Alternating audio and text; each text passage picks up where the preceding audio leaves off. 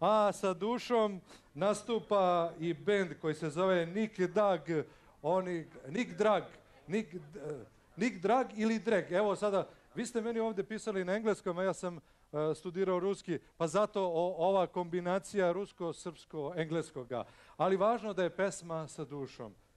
Zabavljati se uvek valja, naročito na rekama. Izvolite.